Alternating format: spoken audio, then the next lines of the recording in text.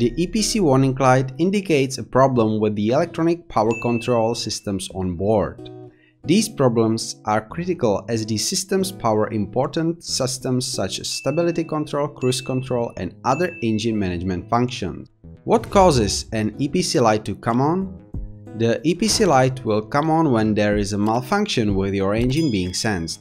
Your car will automatically limit the amount of throttle usage to help prevent further damage to your engine. Any number of dozens of sensors, control modules or computers can be causing your issue. How much does it cost to fix an EPC light? The cost to fix an EPC light on, uh, for example, Volkswagen is about $200. Can you drive with your EPC light on? Your car should have enough power to drive to a car dealership or repair shop. But it should not be driven anywhere else. Your car's throttle may be limited in power as a built-in mechanism to protect the engine. So how do I fix my EPC? To fix your EPC light, you need to fix whatever problem is causing it to light up. Problems that could be causing an EPC light to turn on include uh, issues with your mass airflow sensor, your brake light switch, your engine speed sensor, and the throttle body. What the EPC light means. Since the EPC is used on multiple other systems on the car, it is likely that other warning lights will be illuminated on the dashboard as well.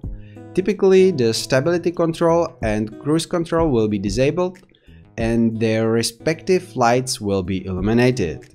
The check engine light may also come on, the, on to show that the engine itself isn't operating at normal efficiency.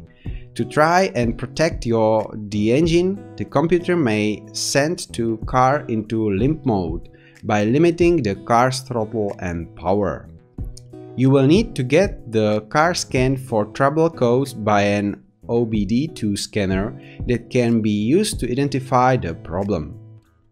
The scanner will plug into the EPC and read the stored trouble code that pinpoints the problem in the car.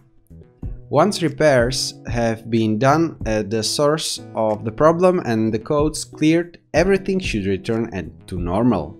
Is it safe to drive with the EPC light on? Like the check engine light, the severity of the problem can vary greatly.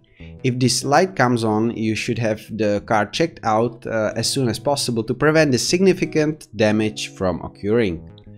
If your car is limiting your throttle to protect the engine, you should only use the car to take it to get repaired. Common issues with your car's EPC are related to malfunctioning engine, ABS or steering wheel sensors in need of replacement. However, the issue can be more serious, such as failing brake uh, pedals or brake lights, a faulty throttle body or failing power steering. In order to answer what does the EPC warning light mean, you need to explore the mechanism the EPC light refers to, including cruise control, throttle body, throttle pedal, traction control. These work in unison to manage engine power and speed. If one of these individual systems malfunctions, your EPC light will come on.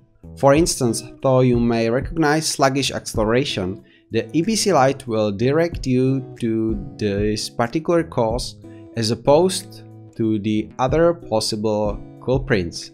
It also may indicate issues with mass airflow sensor, engine speed sensor, brake light switch.